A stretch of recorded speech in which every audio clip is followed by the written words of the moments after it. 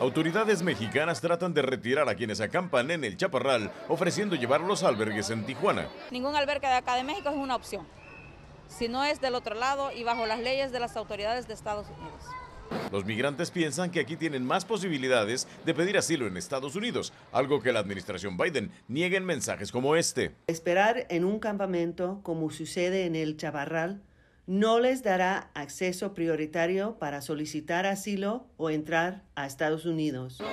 La Comisión Nacional de Derechos Humanos calcula 2.000 personas en unas 320 carpas. Por más de un mes estuvieron sin servicios sanitarios.